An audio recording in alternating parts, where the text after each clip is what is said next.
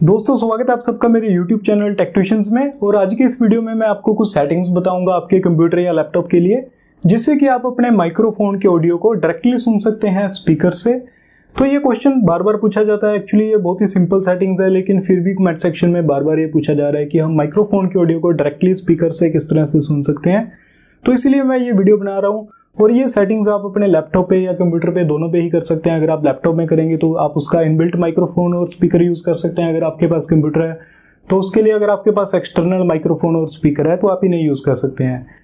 अगर आपको इन सेटिंग्स के बारे में पता है तो आप इस वीडियो को स्किप कर सकते हैं। ये बहुत ही सिंपल सी सेटिंग है और ये मैं वीडियो सिर्फ़ उन लोगों के लिए बना रहा हूँ जिन्हें इसके बारे में नहीं पता। तो अगर आपको पता है, आप इस वीडियो को स्किप कर दीजिए। चैनल पे और भी बहुत सारी वीडियोस हैं, आप उन्हें देख सकते हैं।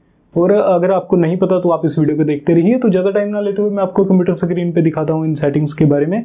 तो चलिए मूव करते हैं कंप्यूटर स्क्रीन में।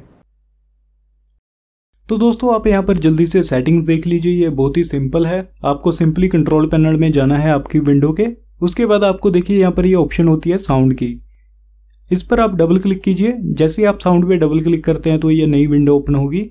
इसमें आपको ऊपर की तरफ़ कुछ टैब्स दिए जाते हैं, जिसमें पहली टैब होती है प्लेबैक की, ये आपके स्पीकर्स के रिलेटेड है तो इस पर आपको कुछ भी नहीं करना।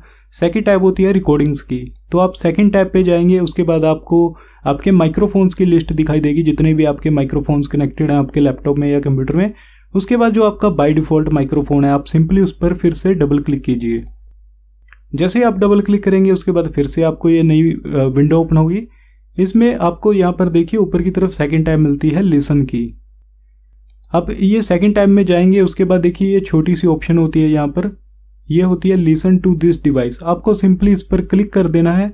जैसे ही मैं इस पर क्लिक करूँगा तो मेरी जो माइक्रोफोन की ऑडियो है, वो स्पीकर से आएगी। मैं आपको करके दिखाता हूँ। उसके बाद आप यहाँ पर सिंपली से अप्लाई कर दीजिए। तो देखिए, जैसे ही मैंने इसे अप्लाई किया तो अभी जो ऑडियो है, वो मेरे स्पीकर से आ रही है डायरेक्टली जो भी मैं माइक्रोफोन में बोल रहा हूँ। तो मुझे वीडियो रिकॉर्ड करने में थोड़ी सी मुश्किल हो रही है, इसलिए मैं स्पीकर्स की वॉल्यूम को बंद कर देता हूँ।